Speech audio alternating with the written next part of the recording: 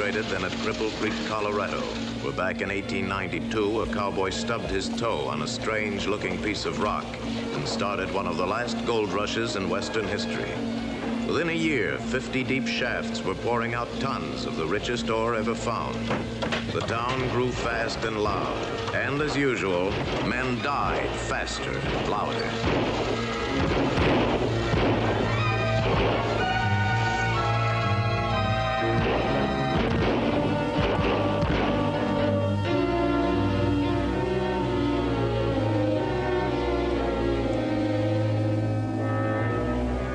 With the customary violence and bloodshed of a gold camp, something new was added to make Cripple Creek unique among all her sinful sisters.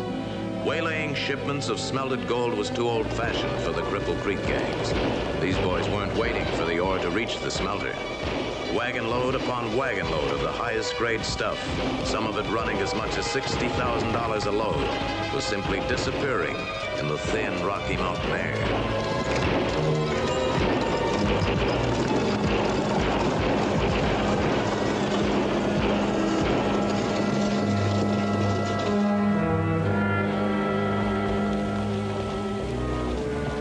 Sam the driver, two of the mine crew, and wounded four others besides me. Well, couldn't you identify any of them? No, Marshal. They were all masked. That's the tenth wagon load of my richest ore that's been hijacked this month. And six loads of mine never got to the smelter. The way they select only the richest ore, you'd think they had access to my secret assay reports. I think you gentlemen should appeal to your senators in Washington. What do you suggest, Sullivan? Well, as the government assayer, I must agree with the marshal. The loss of gold in such quantities is a matter of national concern. Gentlemen, I think that's a good idea. They were right about that. It was a matter of national concern. For this year of 1893 was one of financial depression and near panic. The country's gold reserve had reached such a low ebb that President Cleveland placed an embargo on the sale and shipment of that precious metal to foreign nations. Every ounce of gold was needed by the national treasury. So the problem of the wholesale looting of Cripple Creek mines became the immediate and urgent business of the United States Secret Service.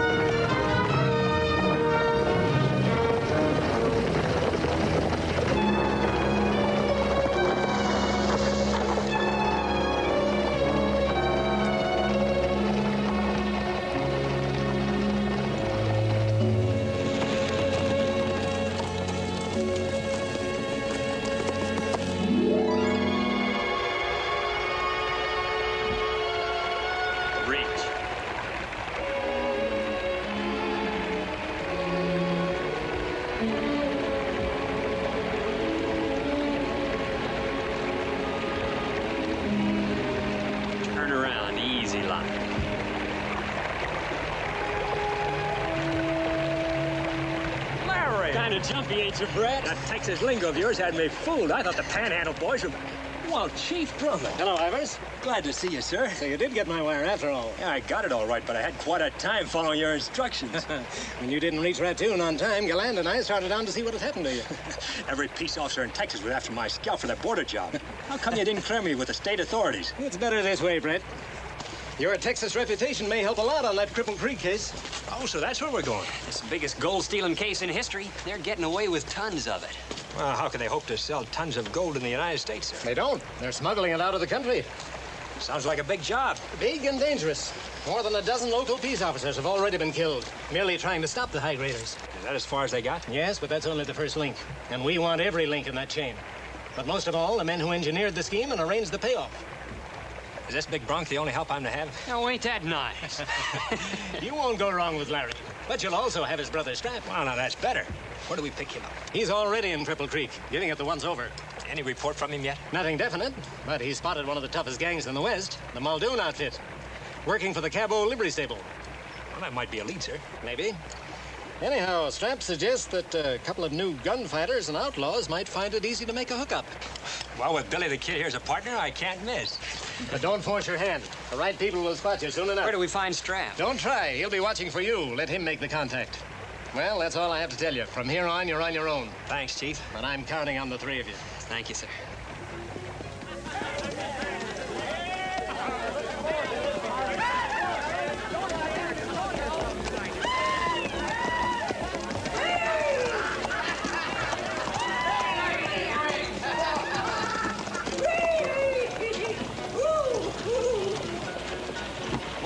Which way to the livery stable, friend? Livery stable's right down there at the end of the street. Henri, Jake, three wagons to go back to the woodcutter's camp tonight. Fresh horses and sober drivers. Yes, boss. You early, Muldoon. We don't roll for a couple of hours. We won't roll at all till we get our pay for those last three jobs. You get your pay when I get mine, not before. We want ours now, or you can get yourself a new crew. Nobody quits this outfit. I'll see the boss. Go ahead.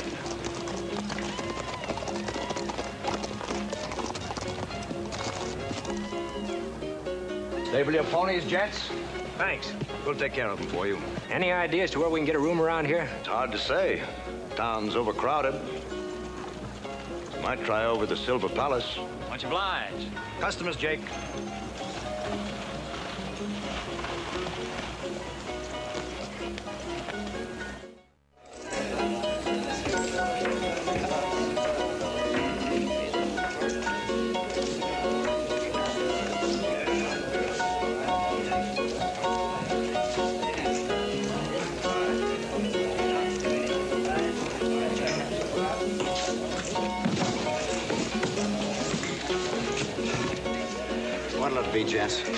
See about getting a room here? You can ask the boss there, Mr. Kirby.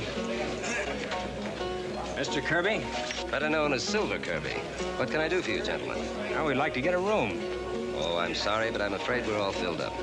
Liveryman Cabot figured you might be able to take care of us. Oh, I see. And you boys must have ridden up from the valley tonight. Yeah, 40 mile day. It's a long pull.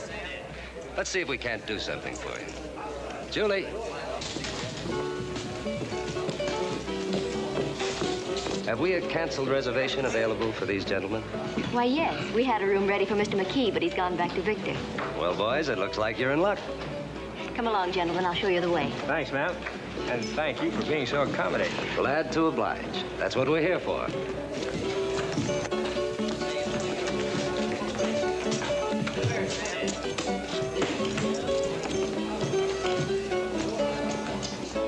I wonder what Cabot saw in those two to worry about. Maybe it's the way they sling their artillery. Texas style, low and handy. I suppose you boys came here hoping to get rich quickly, like all the others. No, ma'am, we just drifted up from Texas to take in the sights of Cripple Creek. Yeah, and we sure like what we've seen so far. They must have moved the Blarney Stone to Texas. Here's the room. We had it ready for Mr. McKee. He owns the Gold Dollar Mine. So at least you boys will sleep in a millionaire's bed. Yeah, it looks real cozy like. Thanks, Miss Julie. Not at all. It's part of my job. Now, if you'll give me your names, I'll register for you. Ivers is mine. Brett Ivers. This is Larry Galland. Mine's Julie Hanson. Good night. Good night, Miss Julie. Night, man. Did you see Strap down there dealing faro? Yeah, it looks like a real sweet listening. I sure hope.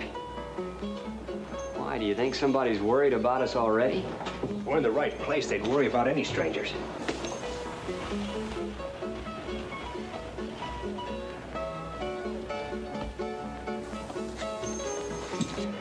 Strap gets in touch with us tonight. Well, we'll leave that to him. It's his play.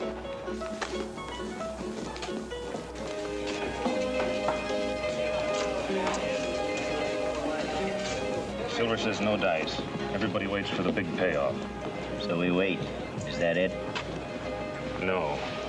We make our own collection tonight. Now, you two stay here. I'll get the boys in the other room.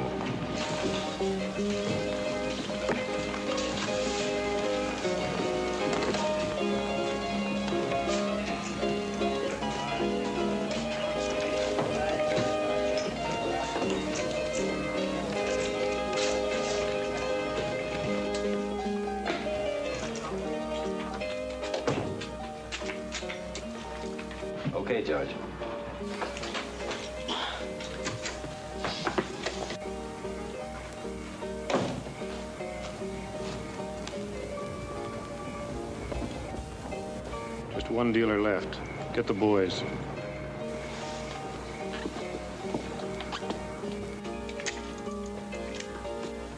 Good night, Gillis. Hi, Mr. Kirby.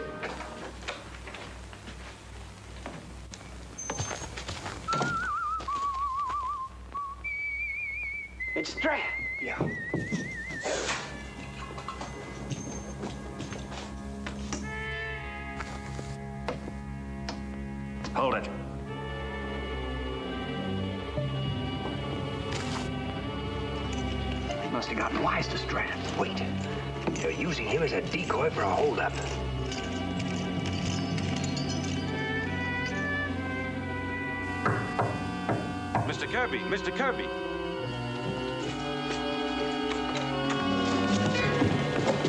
All right, keep it quiet, you two. This is a private gold strike in the house.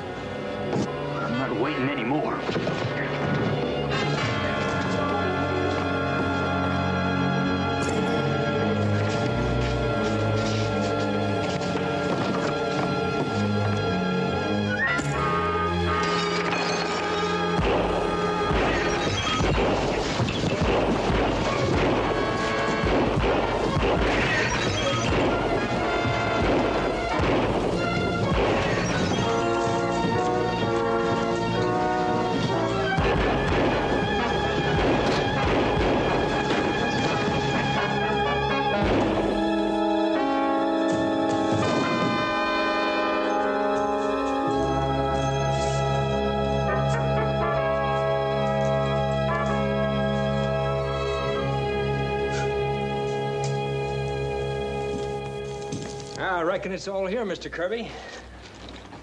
You didn't give him a chance to spend any of it, that's certain.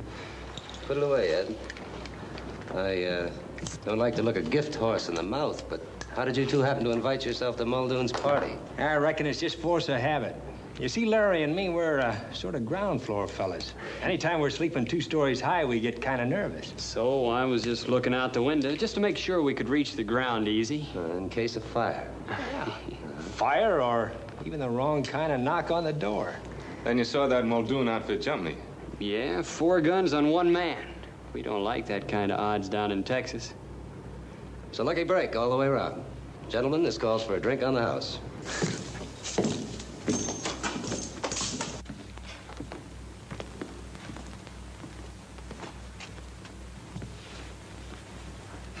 And that's Bill Tate of Colorado Springs. He worked for you, too? Drove for me once in a while. Very sad affair, but the best night's business we've had for some time. I can make a very attractive club rate for all six. Well, Silver, you can lock up now. Corpus delicti has been identified, and Hawkins here offers a very good club rate. Six coffins, no flowers, no mourners. Seems to me that's up to Cabot. I'd be more careful about my hired help if I were you. Look, I gotta take what I can get. Cutting and hauling this town's supply of cordwood is a tough job. If that's all, Marshal, I'll be rolling. I gotta hustle up a new crew. That's all, Cabot, and thanks. Oh, I can make it easier for you, Mr. Cabot, if you'll furnish one of your own wagons. My largest hearse is only a two-passenger job. See Jake at the stable. Oh, splendid. I'll send my decorator over to drape it in black. You can drape it in red, white, and blue, for all I care. A patriotic idea, but a little too unconventional for Cripple Creek. Well, good night, all, and thanks again, gentlemen, for being so cooperative.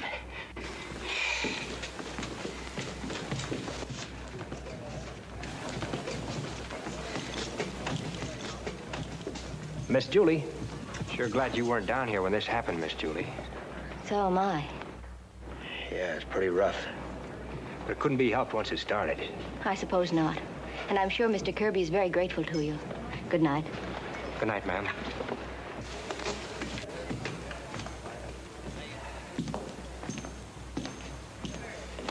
Well, I reckon Larry and me will shove off for bed. Good night, men.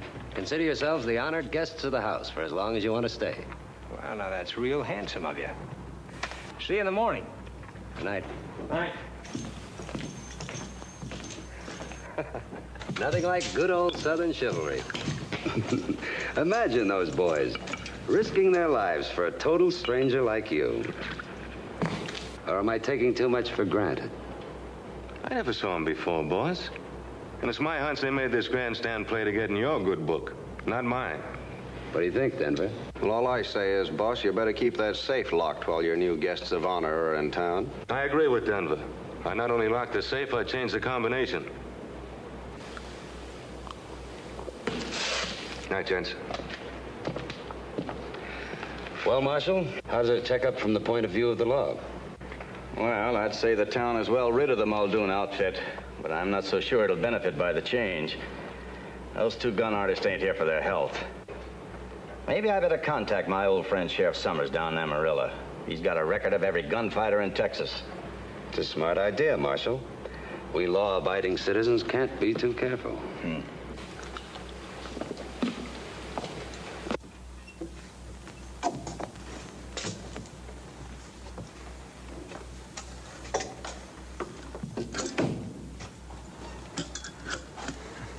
Don't you look under the bed? Why don't I knock your block off, you mean? I'm sorry, Brett. You're dead right. I nearly wrecked our case. You sure did. Strap!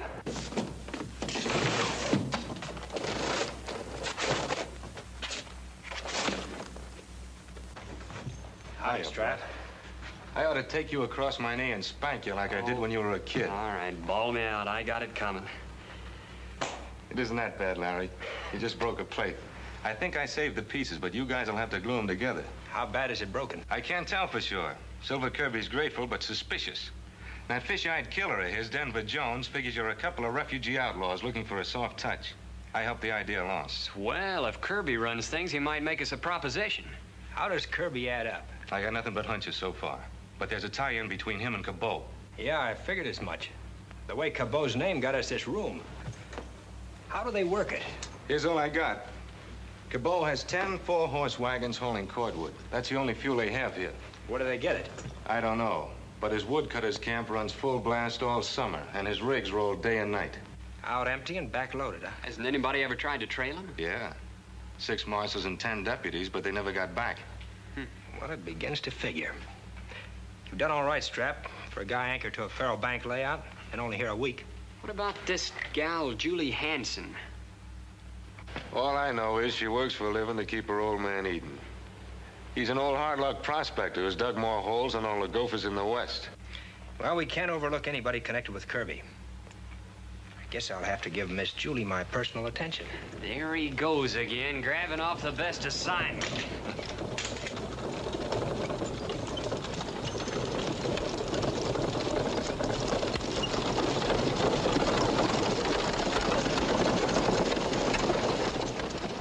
Cordwood Cabot himself at the range. Off the bed, Larry, and harness up. We're going for a ride. You got it, Brett. That wagon may put us on first base. I've a hunch it'll do more than that. May buy us a seat at Silver Kirby's table. That's the best night's sleep I've had since I met up with him. Strap. Blow out the lamp.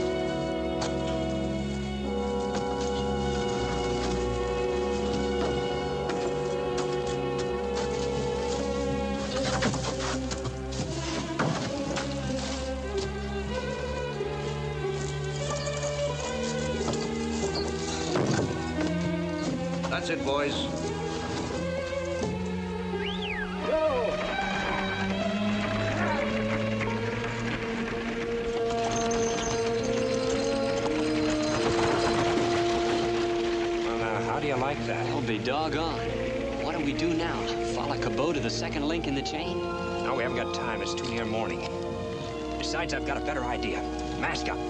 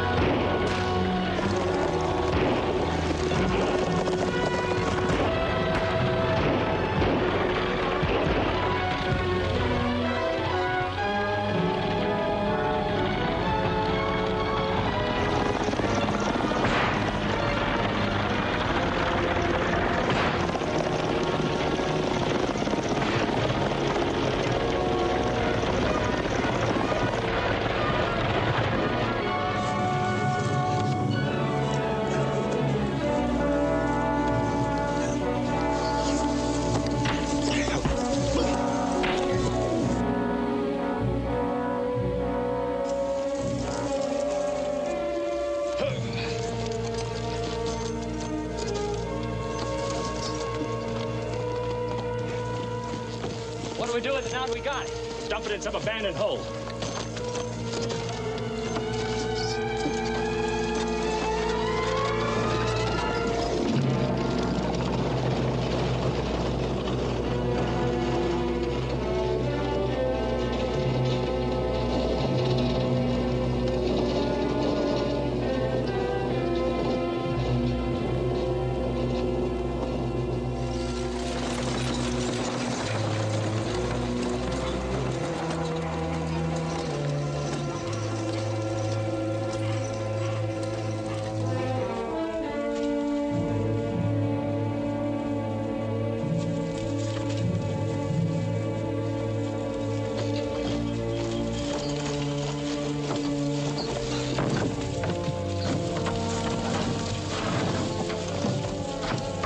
Be safe in this dead shaft.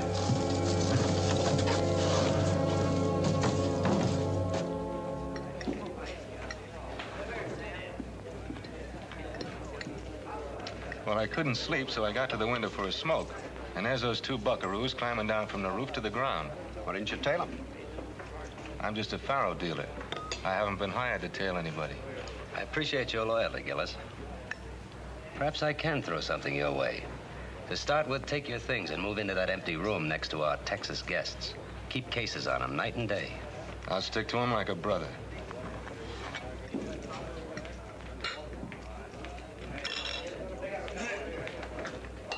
Where have you been?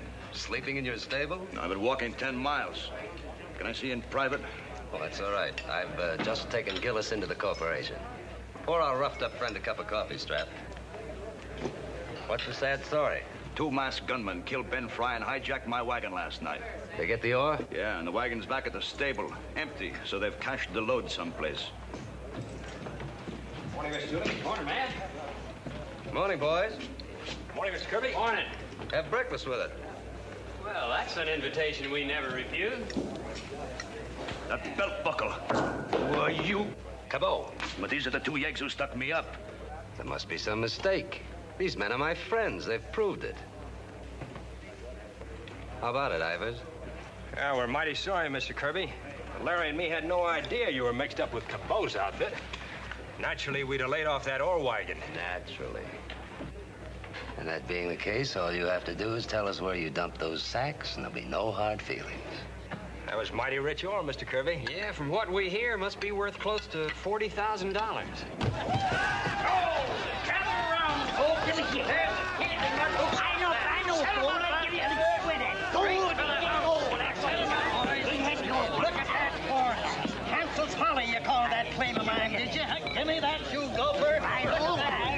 It's Julie's father. He struck it rich. Nonsense. That old claim is isn't worth a quarter, never will be. If there's any gold in it, somebody dumped it down the shaft. Drink up, boys, to the old Juliana, the richest strike this year. Uh, Juliana. So that's where you dumped it. Our mistake. We thought it was just an abandoned hole in the ground. I admire your nerve, Ivers. This sort of changes your plans, doesn't it? I don't think so. If we could take it away from Cabot, there shouldn't be much trouble handling Hanson. Especially since the old man's trying to get away with it himself. Granted. Let's presume you recover the gold. How do you dispose of it? You can't go driving around the mountain with a wagon load of stolen gold. Larry, looks like he's got us there. Yeah, we never figured on that. Okay, Mr. Kirby, it's your deal. I thought you'd see it my way. Larry, since we caused all this trouble, the least we could do is help Mr. Kirby get that ore back. That's straight talking. You won't lose by it. Bo, you've got yourself a couple of men worth a dozen Muldoons. You're asking a lot of me, Silver. Kiss and make up with a couple of guys who pulled me off my wagon and near break my neck. Cabot, you surprise me. These two Texas tornadoes might be just what the doctor ordered. It's one way to find out is let them sit in the game, deal them a few hands, and see how they play it. If that's the way you want it. That's the way I want it. it. Won't be long now before I'll be joining that millionaire club of yours, Mr. Hatton. Yes, sir. My congratulations. That's beautiful stuff, Hanson. After I get a few tons out, Mr. Sullivan, will you assay it for me so I'll know that I got a vein, not just a pocket? Anytime. I'll be glad to oblige. Thanks, thanks. Oh, Dad, this is wonderful. I can hardly believe it. Won't be long before we'll have that big house in Denver like we both wanted, honey. My gal won't have to work here much longer, Mr. Silver. Come on, honey, I want to talk to you alone.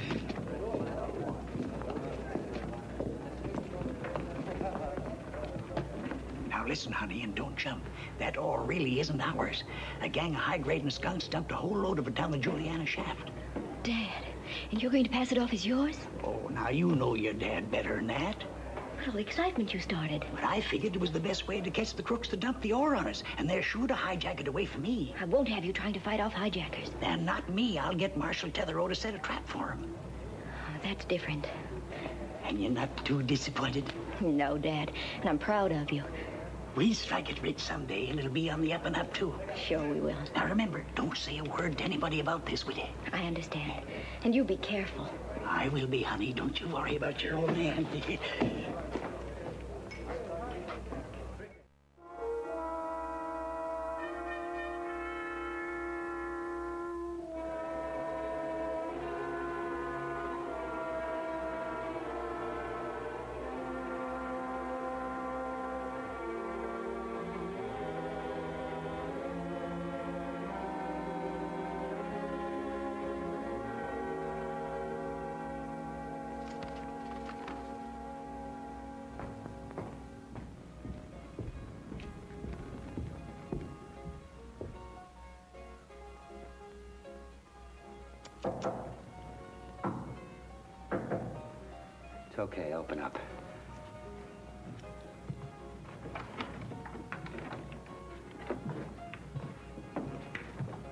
Where's Silver? He had dinner out. He'll be back soon. And I can't wait. Tell him this just came in from a friend of mine in Texas. If he wants anything done about it tonight, he knows where to find me. Okay, Marshal.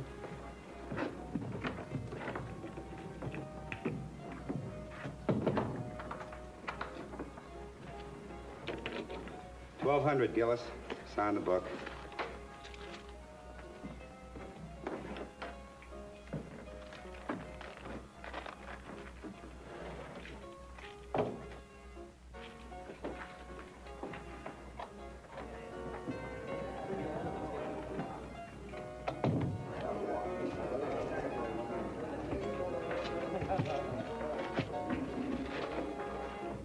For me, will you, George, while I run an errand?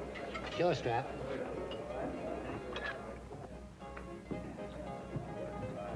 Good evening, Mr. Kirby. Good evening, Ed. Nice crowd out there. Marshal Tetherow left a letter for you to read. Where? Right there on my desk. Sounded important. Something from Texas.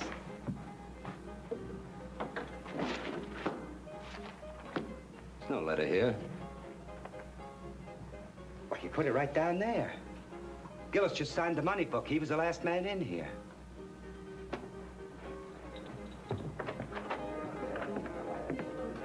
All right, men. Get your bets down. Get the horses. We've got to see the marshal right away.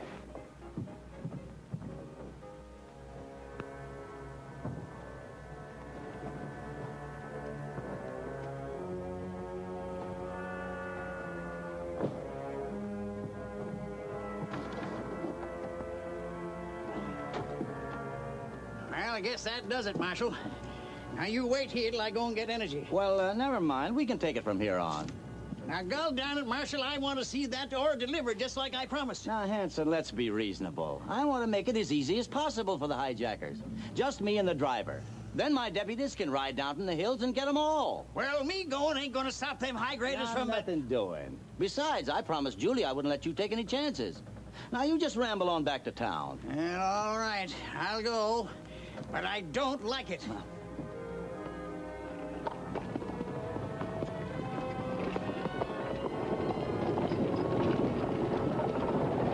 Hanson, go back to town. Well, I ain't going. This is my business, too. Energy? Are you listening? This is my idea, and I ain't going to get froze out of it. Let's go. Come on, come on. Come on, Energy, come on. Come on.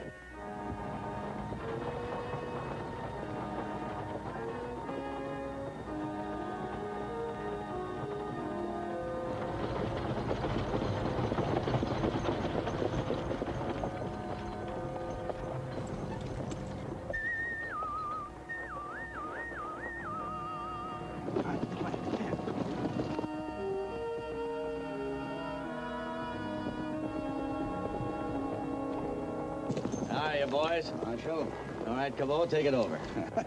There's nothing like having the law on your side. All right, let's get along. Hi, cowboys. Marshal, Silver wants to see you right away. Did he get that letter? He sure did. He said to let all bets ride as they lie. He'll take care of it. Well, boys, have a nice trip. Come on, young fella.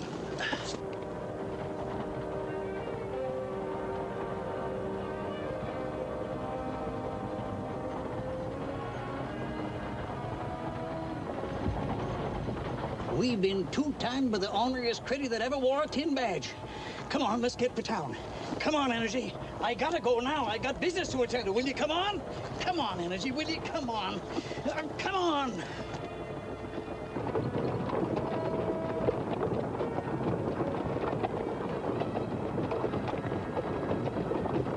Ride up and tell Cabot my horse picked up a stone. I'll be along in a minute.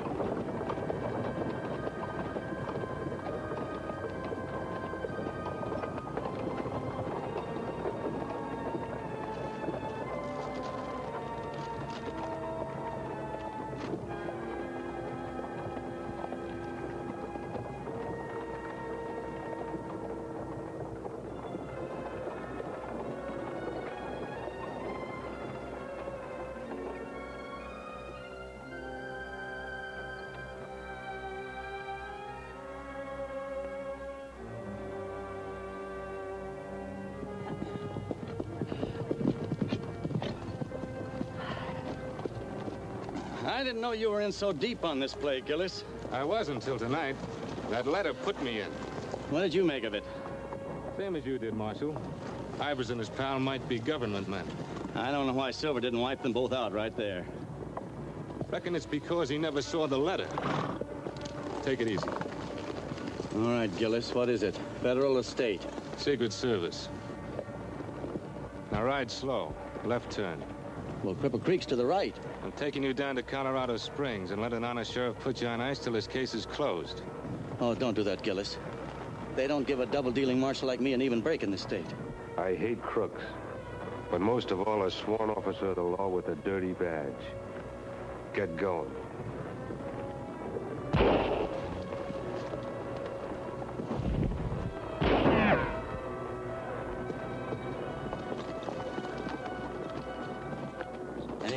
Any? Give me time and I'll think of one. Where's that letter? What letter? Let's go. What about the marshal? Haven't you heard? He died in the line of duty. The high graders got him.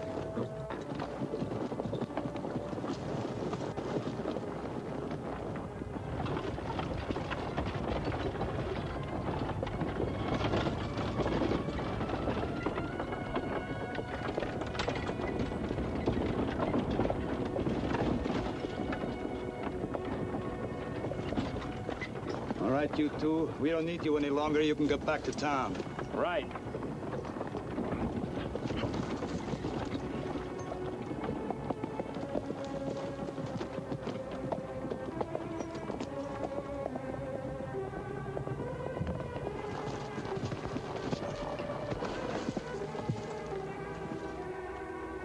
Reckon here's where they want to stop our education. Yeah, I guess we'll have to work our way through college.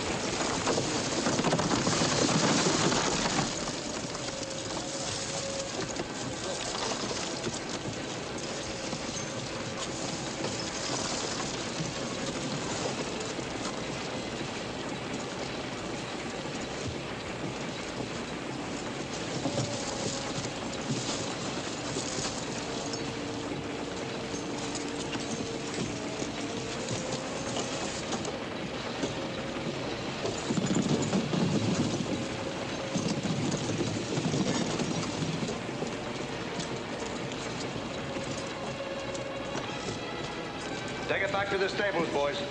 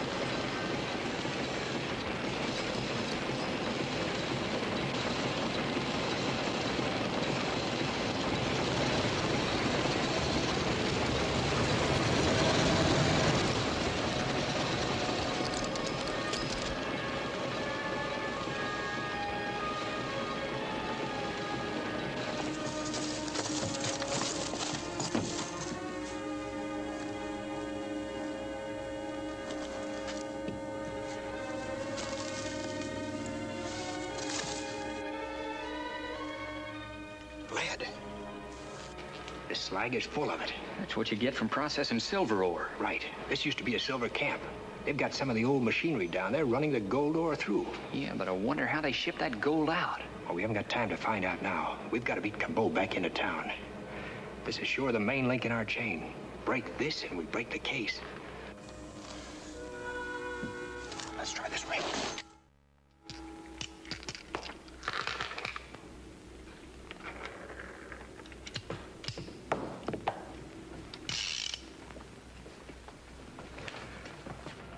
Mr. Secret Service.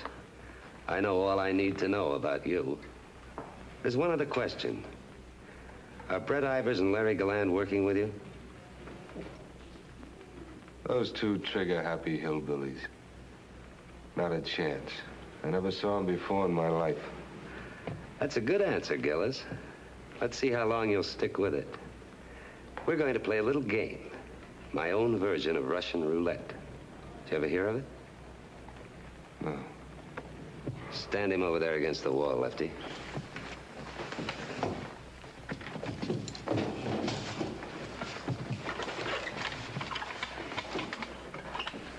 There's one cartridge in this gun and five empty chambers. This slug with your name on it may be in the first or the last, or somewhere in between. Chief, that's one for the book. I thought you'd like that. I'm gonna give you a gambling chance. If you give me an honest answer to my question, you walk out that door a free man. You expect me to believe that? That's another gamble you'll have to take. At the moment, the odds are five to one that this is an empty chamber. Ready, Gillis? How about my answer?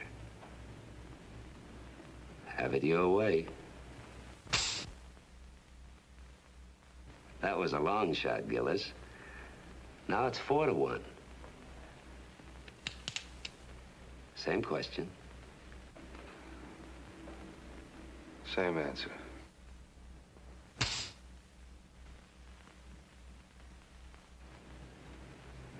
This is getting interesting. One of the next four, maybe the very next. Any change of mind? Here goes your three to one shot.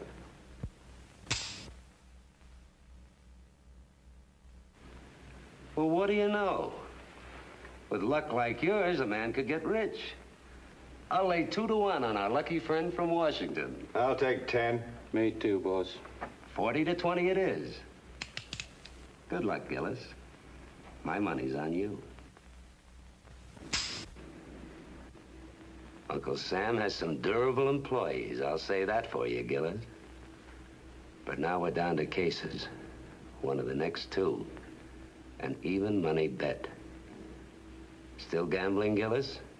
Or do I get my honest answer? You had it, Silver.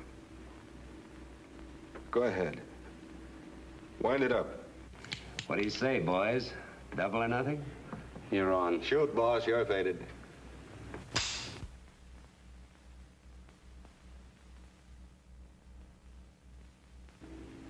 My hat's off to you, Gillis.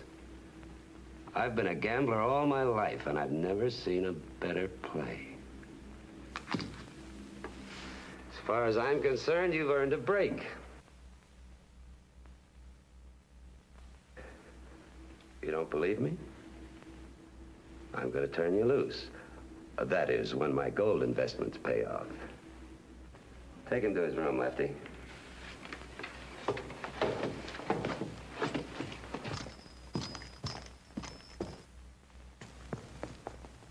Have a good sleep, Gillis. You've got it coming.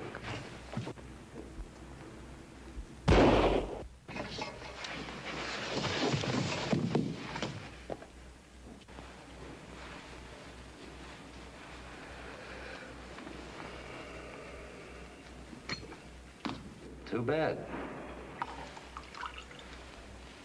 He was the best faro dealer I ever had.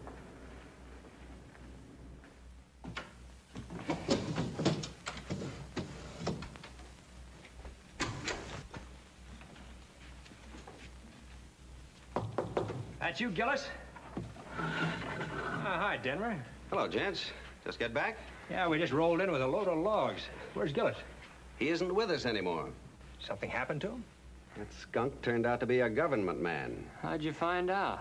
Marshal Tethero got a tip-off letter from Texas from an old friend. What does Gillis do but steal the letter and shoot the marshal? Silver and I got there just in time. Just in time for what? To grab Gillis and bring him in. We worked him over plenty. Finally came through and admitted everything. Can you imagine a weasel like that? How about that? What'd you, what'd you do to him? I always give a game guy a break. I plugged him in the back so he wouldn't see it coming. see you downstairs. Right.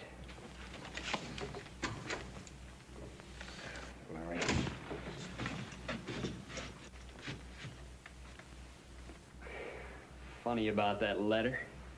Nobody in Texas knew Strap's business but me. Not even our own folks. That letter was about me, Larry, not Strap. How do you know? He gave it to me last night. He wrote a message on it that he'd have to drop off the case and take Tethero with him. Let's see it. I burned it back on the road when I stalled to take care of the horse's hoof. It's all my fault, Larry, for holding out on you.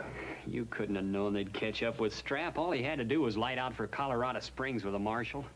Could have hung back long enough to cover the road for him. He didn't ask you to, did he? No. No, he just said, good luck. You did just what he wanted you to do. That's why he slipped the letter to you instead of me. I might have jumped in like I did on Muldoon and taken all three of us off the case. As it is, he, he covered us good.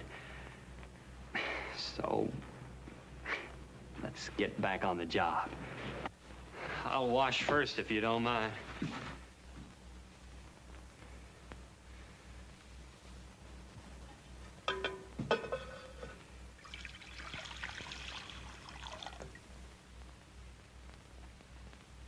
I rubbed it in good, but it didn't seem to mean a thing to them. They never batted an eye. Then in your book, they're okay. You know me, I don't buy many gold bricks, but I'm almost sold on that pair. Keep your wallet in your pocket until we've checked with that old friend of the Marshal's down in Texas.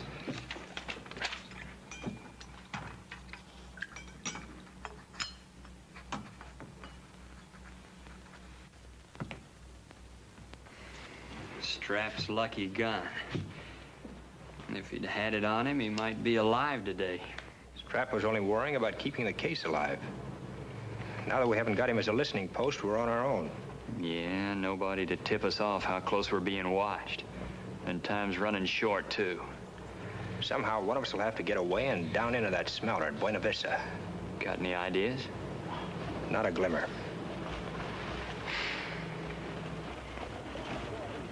Hanson all slicked up.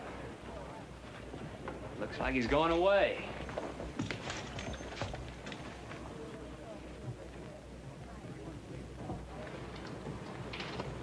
Find out where he's going. But why didn't you explain to Mr. Stratton and the others? Well, doggone it, I tried to. But they wouldn't believe me. Why, the way they acted, you might think I stole that whore myself. And that, that marshal was in with that gang, too. I'm going to take action, that's all. Dad, I won't have you mixed up in this. It's too dangerous. I ain't afeard. I'm going to see my friend, Lieutenant Governor Jim Black. He and me used to prospect together. And when I tell him about this ore, he'll bust this gang wide open. Dad, please don't. You just don't. No, Julie, I'm going and nothing's going to stop me. Don't worry about your old man. He'll be all right. Goodbye.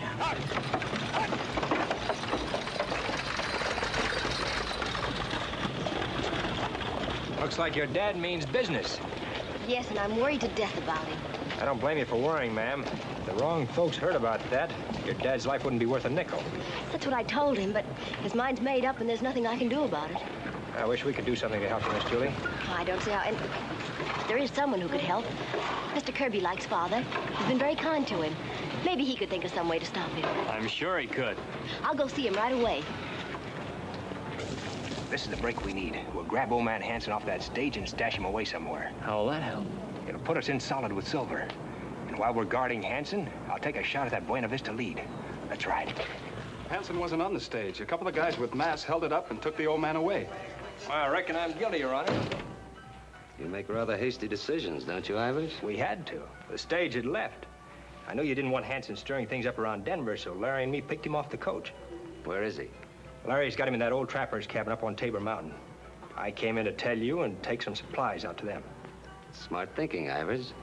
After all, you couldn't know that Julie Hanson would be foolish enough to tell us about her father. That's right. Of course, if you don't think holding the old man alive is safe enough, we... That's good enough for now. Besides, I owe him a rain check for helping me get back that ore that you boys lifted. Yeah. Am I interrupting? Not at all. Come in, Julie. I was just wondering if you'd done anything about father. He's in good hands. He's the guest of our Texas friends in a mountain lodge. Oh, that's wonderful. Thanks, Mr. Kirby. And thank you, Mr. Ivers. Only please don't tell him I had anything to do with it. He'd be furious with me. Oh, we won't, ma'am. Why, he doesn't even know that Mr. Kirby acted for you. He thinks we're members of the high graders and kidnapped him to keep his mouth shut. Thanks again, Mr. Ivers.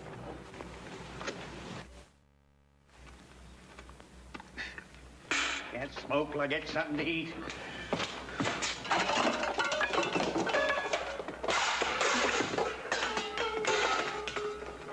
Ain't enough you have to kidnap me.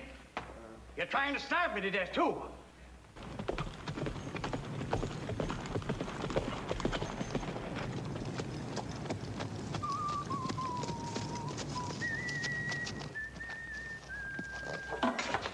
now. There's my partner with a grub. Just take it easy, Pop. Am I glad to see you. Hi, Larry. How'd you make out? Well, if there are any names he hasn't called me, I don't know what they are.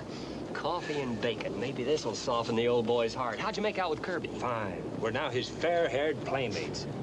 Better get him to send me up some help. I can't stay awake another night listening to Hanson cuss. Well, stick with it until I get back. I'm going down to Buena now to smoke out link number two. See you pronto.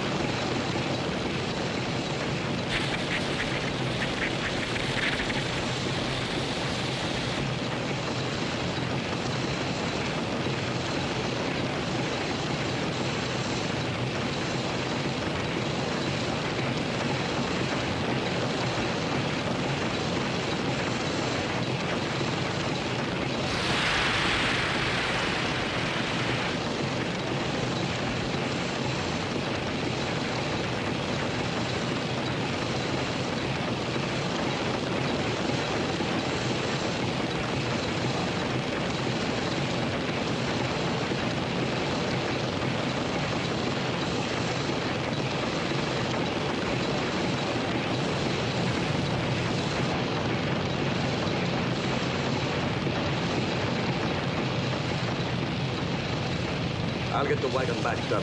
You have to make today's train to Leadville.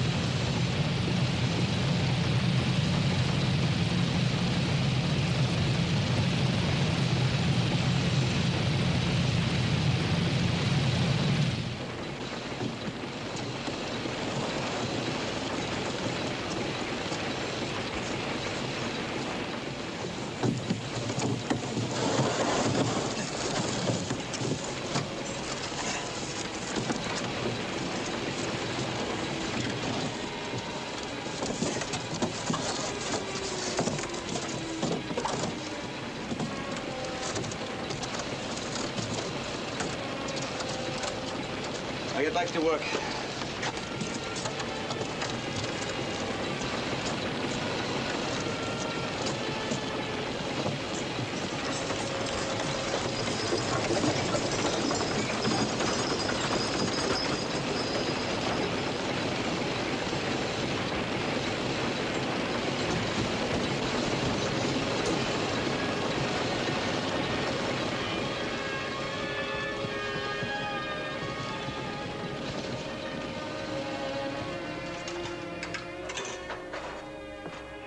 Are, you grinning Texas hyena.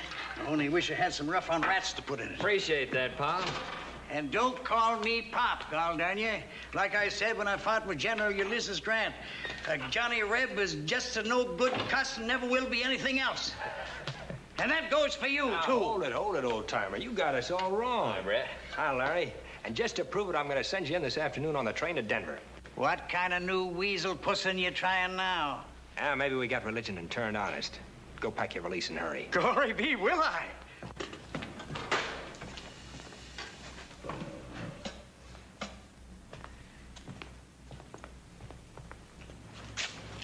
I got down in among the gophers, Larry. Slickest operation ever pulled. You mean they're smelting that gold underground? Not only that, they're plating it to make it look like ordinary pig lead and shipping it out that way. Lead-plated gold bricks. Well, what do you know? Now get this. The gold shipment's going out on the same train with you and Hanson. The crates are marked Pier 63, San Francisco. Pier 63. What about Hanson? Well, just keep him pacified until you get him to Denver and then turn him over to the U.S. Marshal there to hold his friendly custody. And at the same time, I follow the pig lead. Right. Now get all the dope you can and then meet me back here at the shack. I'll let you know when I'm getting in. One of those love from mother telegrams. Check. Well, what's holding us up? I'm ready. And if this ain't some more monkey shines, why, maybe I can get the governor to let you boys off for 20 years. Thanks. Well, come on, let's get going. Come on.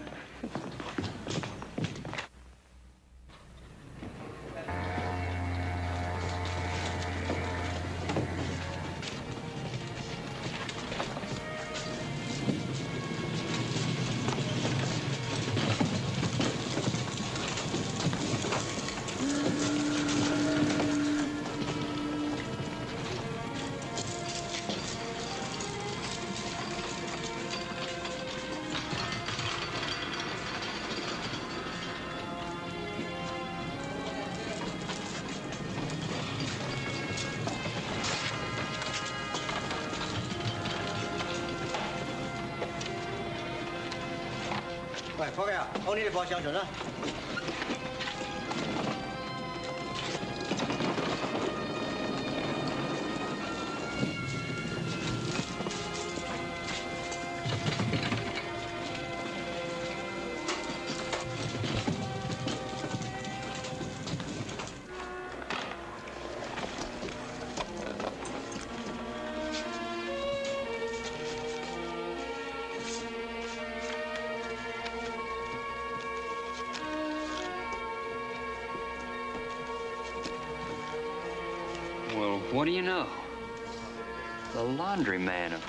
Creek.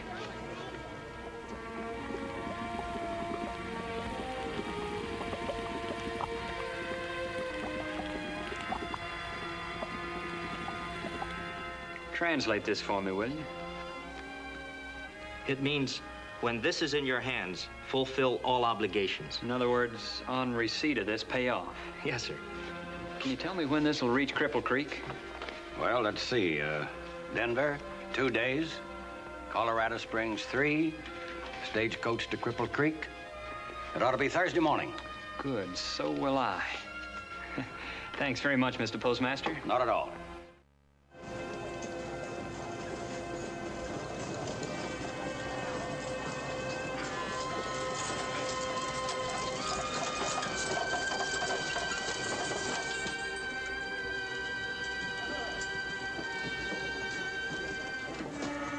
Name's Ivers, ain't it?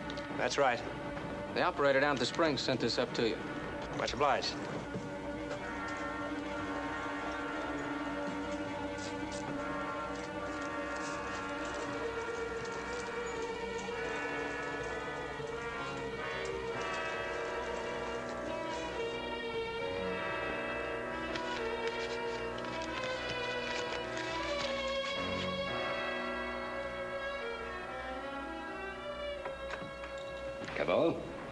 Silver. What are you so glum about? Today's payday. The biggest we've ever had, set for 2 o'clock. Here's how the cuts are going to run. You'll get... Denver, you're just in time for the big news. Mine's not so good, boss. Well, that's what I get for counting my chips while the game's still running. Go ahead, spill it. Sheriff Summers of Datum County met me halfway at Trinidad. That letter he wrote the marshal was about Ivers, not Gillis. It said the setup in Texas looked like Ivers was a government man working on the inside with the border smugglers. And Gillis covered for Ivers and Galland. A three-horse team. Looks that way, but what are they waiting for? They must know everything there is to know by now. No. No, they can't possibly know who pays us off or when it's to be. Could be that's what they're waiting for. Send a couple of men up to the cabin and bring in Galland and the old man, and tell Ivers I want to see him. Shouldn't take us long to find out exactly how much they do know.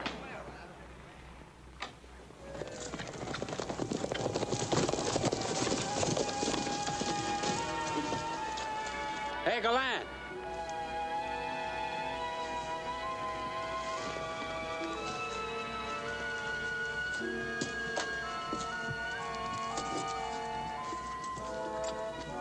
Nobody here. It's a cold camp. There hadn't been anybody here for days.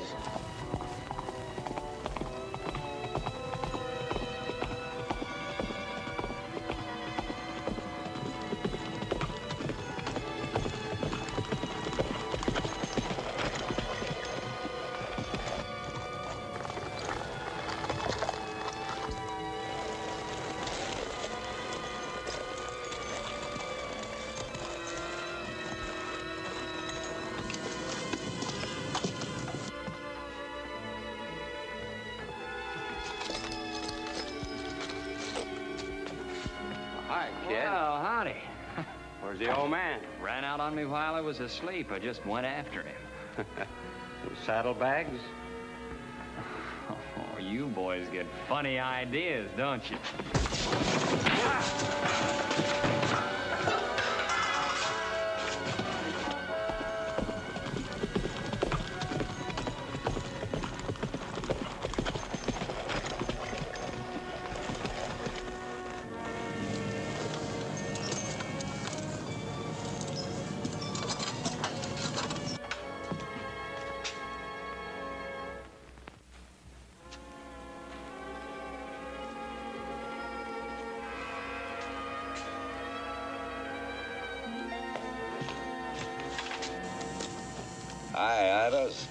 Cabot. I figured you might be here. Yeah, I was just looking for my pal Larry. Oh, he's gone on in with the boys. Say, Silver wants to see us all there. This is payday. The big payoff, eh? Sounds mighty fine. You said it. Looks like there's been a fight in the cabin. You sure Larry is all right? Oh, sure he is. I passed him on the way up. Funny, I didn't. They took the cut off. Come on, I'll show you. Maybe it was old man Hanson who put up the fight. How did he look? Oh, fine and dandy. Still passing everybody in sight.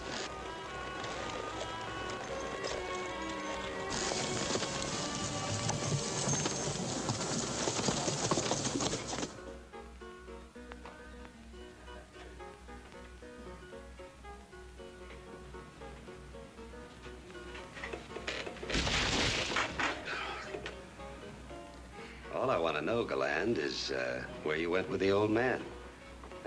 And Ivers have sent for any help. Keep on trying, Silver. I may break down any minute.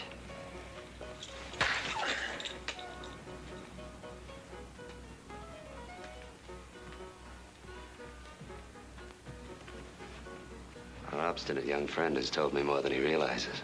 If he were expecting help, he'd be bragging about it. I think it's safe to go ahead with the payoff. In the meantime, keep our friend well entertained.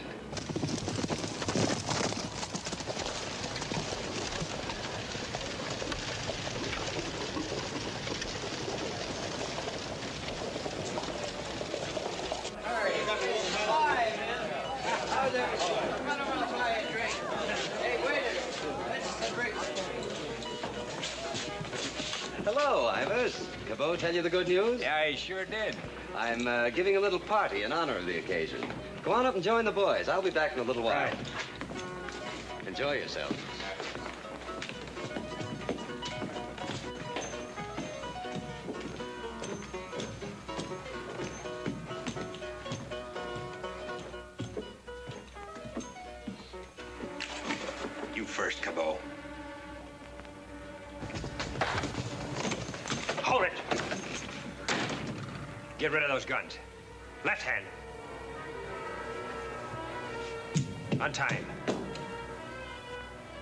Everybody's payday but ours. Is that the idea, Denver? It's your play, Ivers. Spread your cards on the table. Okay, you're all under arrest. Hold it. Get him up. Take him down to the miners' committee and let them take care of them. All right, get moving.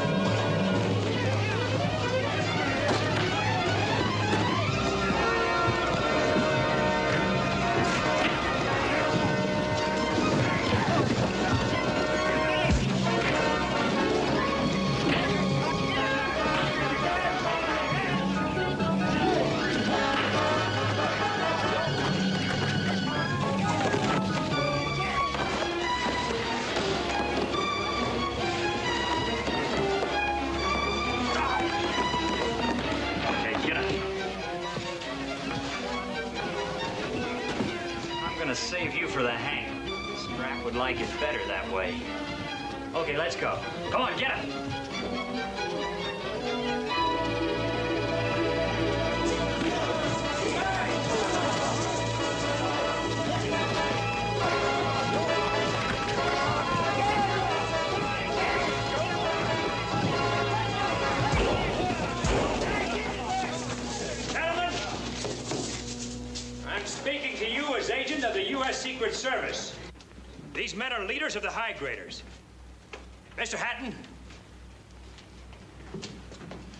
Placing them in your charge. Take over. I'll be very glad to do so. Moore, Johnson, Hibbs.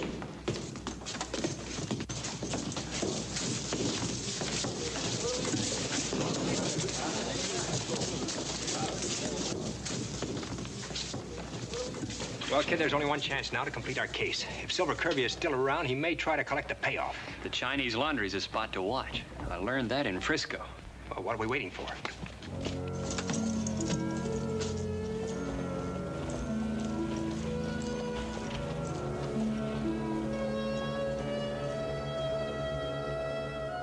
Well, at least Miss Julie don't have to do her own washing. You don't get your laundry in the back room. Can she be in on this too?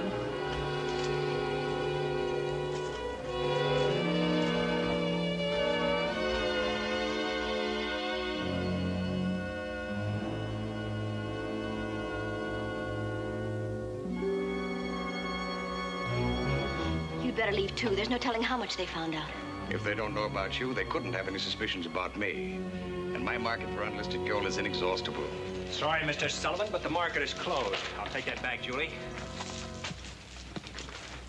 Now, the payoff, Larry, all in brand new U.S. yellowbacks. You're a prisoner of the government you were supposed to serve, Mr. James C. Sullivan. Sir, the name is James Chang Sullivan, and I only owe allegiance to my mother's country. And by now, the gold is well on its way to the Dowager Empress of China.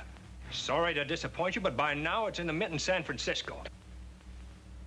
Take our Oriental friends to the Miners Committee while I ask Miss Hanson some questions. Drop that gun, Galland. Julie, dear, take that bag out to the buckboard and wait for me. Give her the bag, Ivers.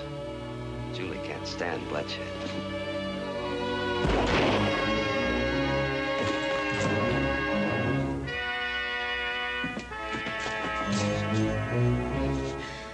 Not a bad try for a gal who can't stand bloodshed. He was my husband.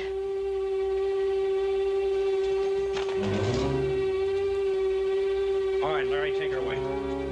I'll get the loot.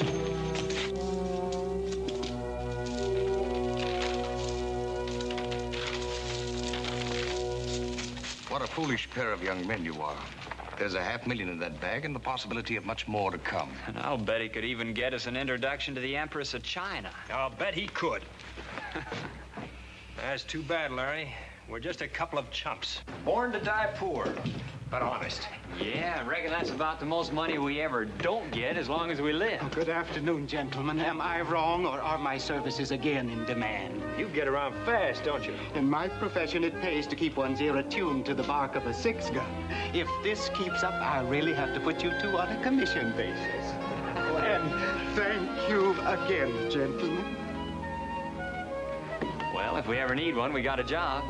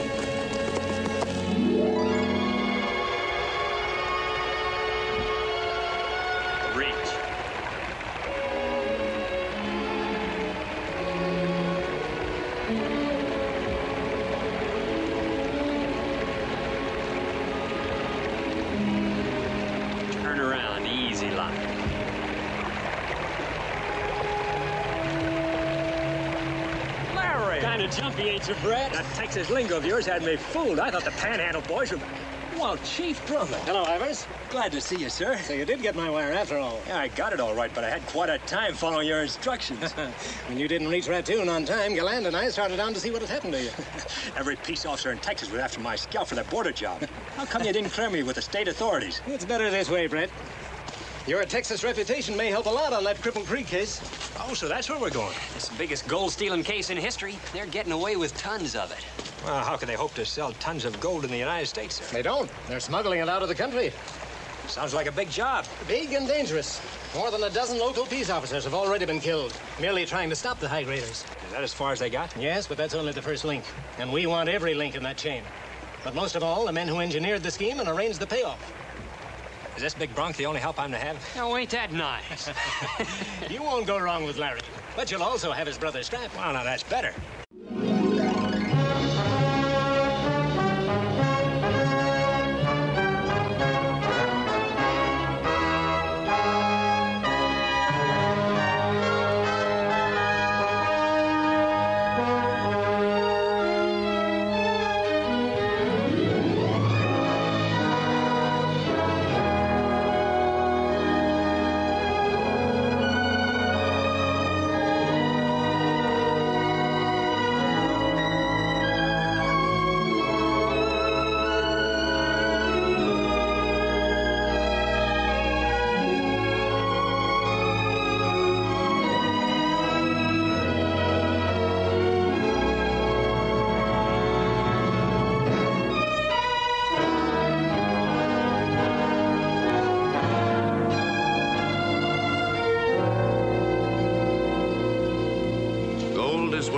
It, the miners say.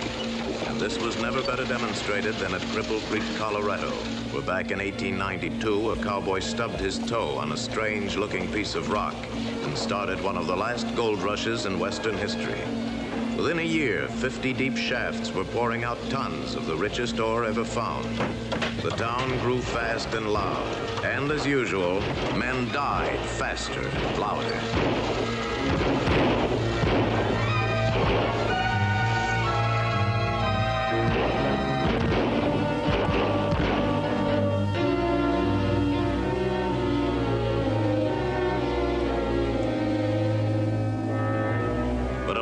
Customary violence and bloodshed of a gold camp, something new was added to make Cripple Creek unique among all her sinful sisters.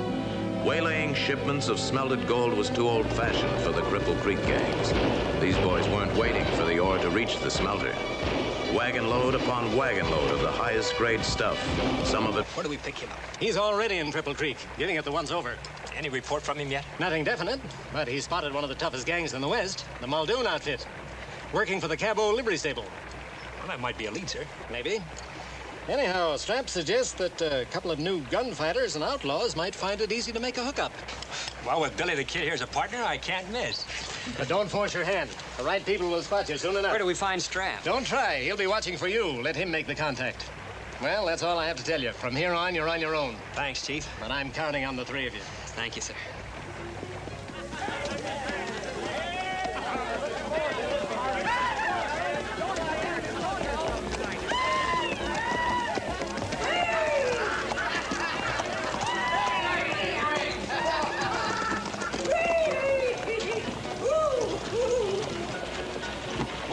Livery stable, friend? Livery stable's right down there at the end of the street. Henri, Jake, three wagons to go back to the woodcutter's camp tonight. Fresh horses and sober drivers. Yes, boss. You early, Muldoon. We don't roll for a couple of hours. We won't roll at all till we get our pay for those last three jobs. You get your pay when I get mine, not before. We want ours now, or you can get yourself a new crew. Nobody quits this outfit. I'll see the boss. Go ahead.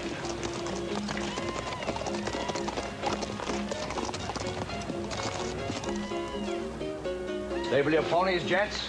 Thanks. We'll take care of them for you. Any idea as to where we can get a room around here? It's hard to say. Town's overcrowded. Might try over the Silver Palace. Much obliged. Customers, Jake.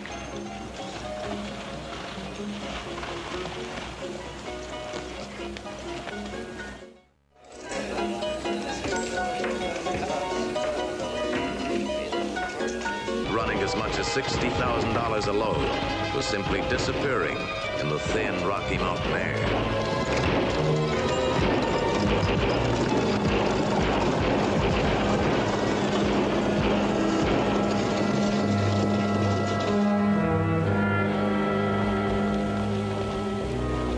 They got Sam the driver, two of the mine crew, and wounded four others besides me. Well, couldn't you identify any of them? No, Marshal. They were all masked. That's the tenth wagon load of my richest ore that's been hijacked this month. Six loads of mine never got to the smelter. The way they select only the richest ore, you'd think they had access to my secret assay reports. I think you gentlemen should appeal to your senators in Washington. What do you suggest, Sullivan? Well, as the government assayer, I must agree with the marshal. The loss of gold in such quantities is a matter of national concern. Gentlemen, I think that's a good idea. They were right about that. It was a matter of national concern. This year of 1893 was one of financial depression and near panic. The country's gold reserve had reached such a low ebb that President Cleveland placed an embargo on the sale and shipment of that precious metal to foreign nations. Every ounce of gold was needed by the national treasury. So the problem of the wholesale looting of Cripple Creek mines became the immediate and urgent business of the United States Secret Service.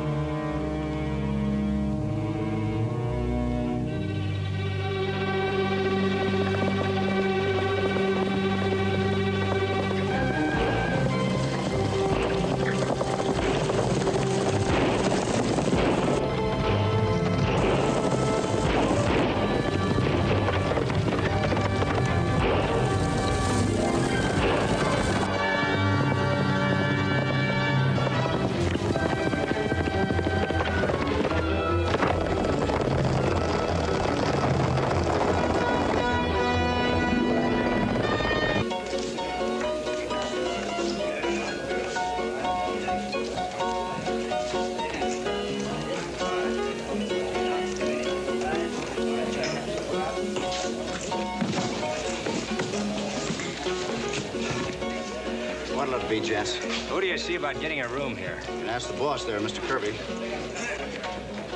Mr. Kirby? Better known as Silver Kirby. What can I do for you, gentlemen? Now, we'd like to get a room. Oh, I'm sorry, but I'm afraid we're all filled up. Liveryman Cabot figured you might be able to take care of us. Oh, I see. And you boys must have ridden up from the valley tonight. Yeah, 40 mile day. It's a long pull. Let's see if we can't do something for you. Julie.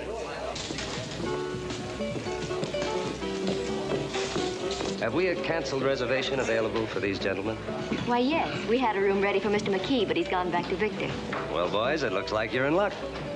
Come along, gentlemen. I'll show you the way. Thanks, ma'am. And thank you for being so accommodating. Glad to oblige. That's what we're here for.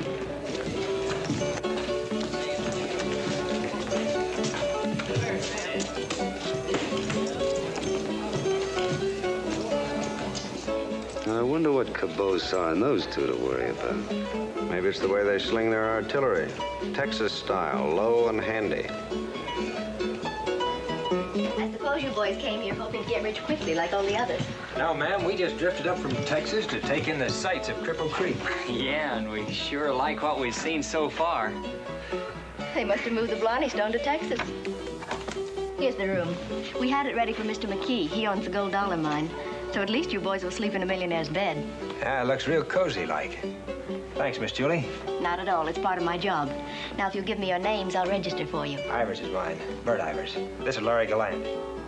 Mine's Julie Hanson. Good night. Good night, Miss Julie. Night, man.